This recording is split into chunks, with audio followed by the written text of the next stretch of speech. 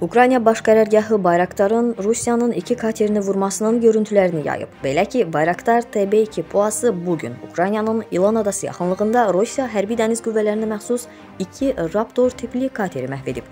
Bu barədə Ukrayna Silahlı Qüvvələrinin baş komandanı Valeri Zaluzhny Facebookda paylaşım edib. Bayraktar iş başındadır deyə baş komandan vurğulayıb. Həmin görüntüləri təqdim edirik.